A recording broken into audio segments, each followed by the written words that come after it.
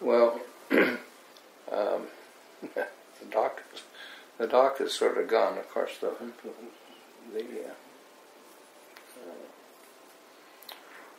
the what do you call these uh, boats? Uh, the, the jet boats have taken over down there and sort of spoiled the old dock. When I was growing up, there was a lot of fishermen used to fish from there. Uh, I never had time for doing that.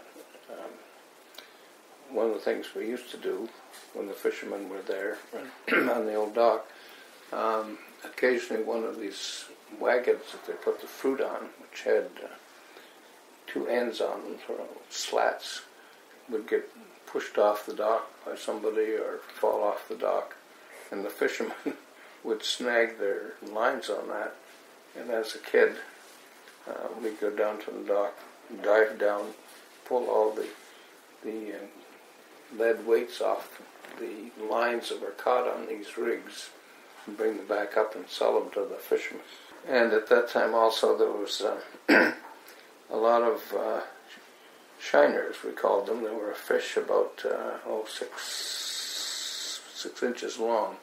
Used to flow in a steady, solid stream along the the shoreline of, of the Niagara River, we often netted those, put them in pails, and sold them to the Italian fishermen to use as fertilizer in their gardens. Believe it or not.